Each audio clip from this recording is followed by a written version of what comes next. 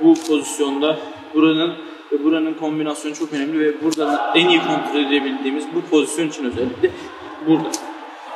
Dirsek rakibin e, yakasını tutarken ve yaklaşırken bu ayağımı atarken e, atış yapacağım ayağı kullanmadan önce dirseğimle rakibe baskı yapıp bu baskıyla e, atacağı yöne doğru kendisine bunu hissettirmem gerekiyor.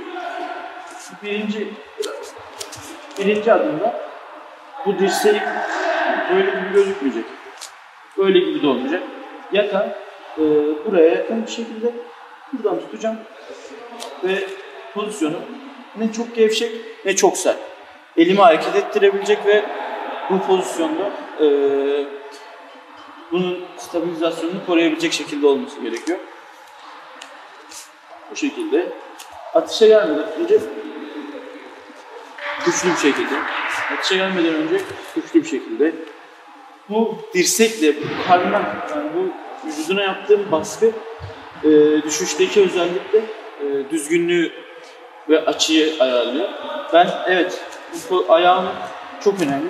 Gelip burada atabilirim. Evet ama ayak tekniği e, sadece atış kısmı ile alakalı. Bu estetik ve tekniğin tamamlayıcı ikon olma kısmı buradaki pozisyonun ve buradaki kontrolle alakalı. Ben ayağımı kullanarak rakibi buradan atacağım pozisyona getiriyorum. Ama bu kontrolü çok iyi bir şekilde sağlayabilmem için benim bu yaka ve koldaki kombinasyonu çok iyi ayarlamam gerekiyor. Ve ayaktaki kullanımı yani yaka ve kol kombinasyonunu çok güzel ayarladım. Yakayı ve kolu tuttum. Çok güzel bir şekilde getirdim, hazırladım. Güzel bir ayak vuruşu olmazsa bu hiçbir şekilde bize sonuç vermez. Çünkü bu teknik yaparken e, ne dedim? Güçlü bir ivme ile beraber alınan güçlü bir ayak vuruşu. Bitiriş çok önemli. Ayağımın gücüyle atacağım. Tekniğimin özelliği, tekniğimin gücü ayağımdaki kuvvet. Ee, üstteki kombinasyon ve aldırdığım ivme ile beraber ayağımın gücüyle atacağım. Özellikle vücudumun özelliği olarak ayağımın uzunluğunu kullan, ayağımın uzunluğunu çok fazla kullanıyorum. Bu teknikte de ayağımı e, getir, getirdikten sonra çok rahat bir şekilde kavrayıp ve kaldıracak güce e, sahip olmam gerekiyor. Bunun için tekrardan göstereceğim. Ayağımın pozisyonu çok önemli. Birinci hafif kırarak yakınına getiriyorum. Hafif bir şekilde kırarak yanına getiriyorum. İkinci ayağım gelirken artık hazır atmaya yani olayı bitirmeye bitirmek için geliyor. Ayağım geldikten sonra yarım bir şekilde kırıp, kırıp bir şekilde geliyorum. Diğer ayağım gelirken dikleşiyorum ve atış pozisyonuna geliyorum. Geldikten sonra bu ayağı güçlü bir şekilde buradan bunu alıp çapraza buradan bu şekilde bu şekilde göstermem gerekiyor. Evet atış yapacağım tekrar. Üst pozisyonu hiçbir zaman e, karıştırmıyoruz. Kol tutuşunu değiştirmiyoruz. Buradan yapacağız. Geliyorum.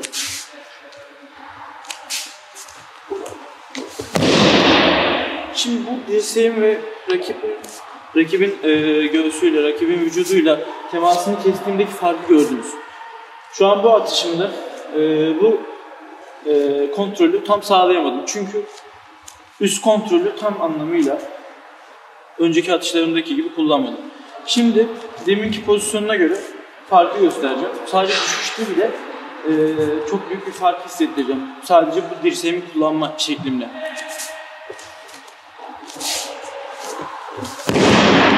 Daha net ve e, daha bitirici bir ikon oldu bizim için. Çünkü üst kombinasyonu aşağıyla hiç bağlantısını kesmedim ve bu gücü e, kolumdaki en son kullanmam gereken bu direksiyon kuvvetini uyguladım. Diğer taraflardan tekrar tekrar bu varyasyonu göstermek istiyorum.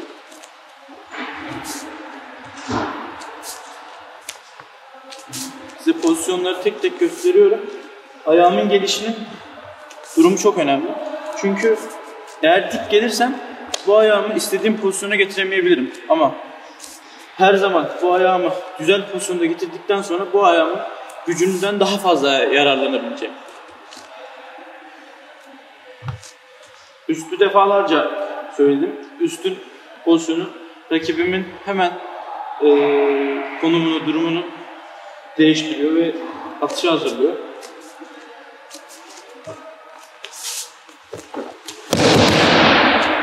Pozisyon aynı şekilde aynı yere düşüşle sonuçlandı.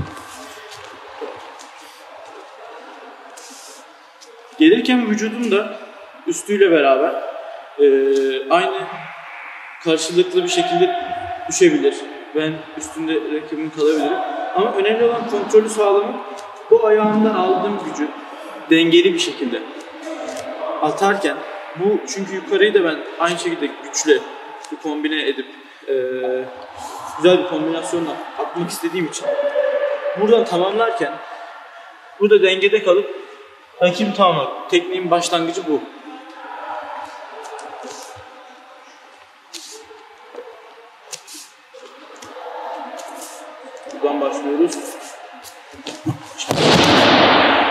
Rakibimi güçlü ayağımla e, yerden sökerek istediğim pozisyonu, istediğim atışa getirdim. Bu zorluk derecesi rakip durduğu için bunu tamamen kendim hazırlıyorum. Kendim yaklaşıyorum, kendim e, vücudunun ivmesini ayarlıyorum ve bitirici vuruşta kendim yapıyorum. Bir hareket yok, e, bir dolaşım yok. Burada tekniği hazırlayıp duran bir rakibi atmak var. O yüzden bu e, durumda bütün varyasyonu çok iyi bir şekilde tamamlamam gerekiyor. Özellikle vücudun bu ayağa buraya geldiğim anda zamanlamayla burada bu başlangıçla beraber zamanlamadan bu direksiyon gibi kullanacağım yaka diğer koldan aldığım kumikata ve ayağımın e, atış ayağımı hazırlayan adımı buradan başlayacağız. E, bu zamanlamada birleşmesi gerekiyor. Çünkü benim bu adımı önde, önce atıp daha sonra bu adımı bununla birlikte birleştirmek istersem bu istediğim pozisyonu, istediğim atışı çıkartamam. Önce bunu yapıp sonra bu adımı getirirsem yine olmaz. Çünkü e, adam hazırladığım pozisyonu hissedip benim tekniğimin doğru e, olmam, doğru bir şekilde çıkmasını engeller. Ama bu zamanlama tuttuğumda başlangıçla iki tarafla beraber kombine bir şekilde başlarsa sadece ikinci bir adım kalacak benim için. Yani teknik aslında iki adımdan oluşacak. Genel anlamda bakarsam tutuştan sonra bir içeri giriş ve atış. Yani toplam iki bölümden e, hazırlama ve atma bölümünden oluşuyor. Zamanlama burada çok önemli. Bir, bu şekilde zamanlama. Rakibi indiriyorum. İndiriyorum. Ve ayağımı kullanıyorum. Ee, bu taraftan da son bir şey göstermek istiyorum. Diğer varyasyona geçmeden önce. Buradan tutuyorum. Buradan kontrollü bir şekilde tutabileceğim. Böyle değil. Böyle gevşek değil. Aşağıdan yukarıdan değil. Omuzun biraz alt hizasından hafif bir elime e, hareket yapılabilecek şekilde ve vücudum karşısında olacağı için e, dirseğimi çapraza doğru göstermem gerekiyor. Buradan bu şekilde. Kendime doğru çektiğim yaka dirsek çapraza doğru atacağım için çapraz. Pozisyona gelmeden önce tekrar. Burada kolu kolu tuttuğum müddetçe değişmiyor ama kendime bu direksiyon bu hakimiyeti sağlayabilmek için, direksiyon gibi burayı kullanabilmek için burayı sıkıştırıp buradaki açıklığı kapatıp kilitleyip çünkü kendime e, kontrol altına almam gerekiyor. Kilitleyip kendime çekmek Ve bu kendime çekişimde de